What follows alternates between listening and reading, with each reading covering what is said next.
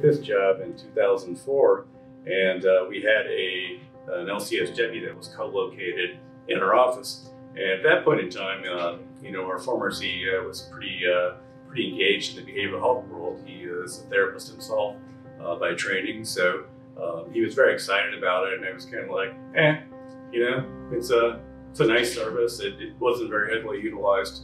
Um, it was kind of, uh, you know, just like having somebody that was, uh, um, you know, co-located in your office. At that point in time, I was kind of in a depression that, you know, so this is um, a behavioral health care person, professional who's available to help, but, you know, she probably saw, you know, two to three patients a day. So, you know, not a big demand. So you think to yourself, you know, so, okay, so, so this is primary health care and, and she's here available if needed.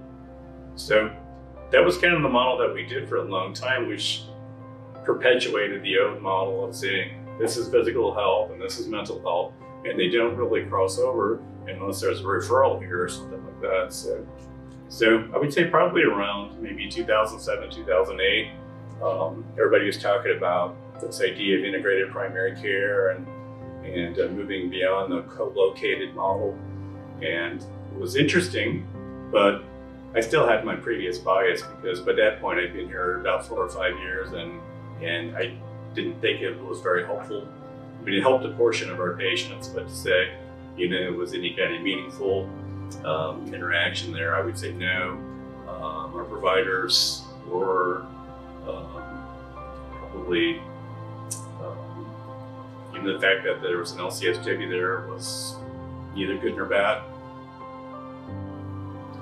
Contrast that with today, which if I tried to take our behavioral health providers out of our offices, I'd have a, riot on our hands because they are so uh, interdependent upon each other that it's uh, it's been a, a, remarkable transformation. So, so um, as, as far as like personally what I believe now, I, I am actually I've got to the point where I'm very, very proud of what we've accomplished.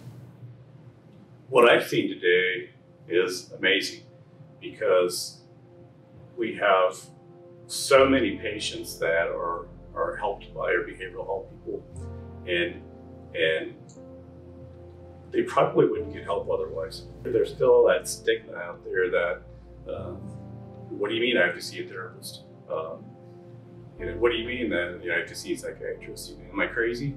Uh, I don't want I don't want that. You know, I, nobody can know I'm doing this. Um, you know, the idea of going to a community mental health center, you know, for a lot of people is like, ah, I'm not doing that. But here we have a healthcare, behavioral healthcare provider right here in our office, right there in the same office as your doctor. Your doctor is saying, you know what? I noticed you've been having trouble sleeping. We have somebody that can help you with that. So that door was opened. Um, we call that a warm handoff, by the way. Um, so, would you like to meet her? Um, well, uh, sure, why not? You're my doctor, I trust you. If you say that this person can help me, then I'm gonna take your word for it.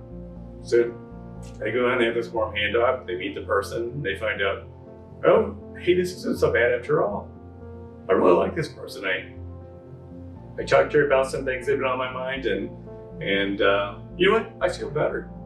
So when the when the behavioral health provider says, um, "How can I see you uh, next week?" Okay, sure, I'll come in. And we see this play out all the time, every day. And what happens is, you know, our, our model is not really long-term therapy. Our model is designed to be, you know, six to eight, you know, to probably 10 max uh, visits with a behavioral health provider. But you know what? You could do a lot of good work in just a few sessions. So what we've seen is we've seen a lot of patients really benefit from this model. And, and quite frankly, they, they would not get help at all if that person wasn't right there in our office working together with our provider team.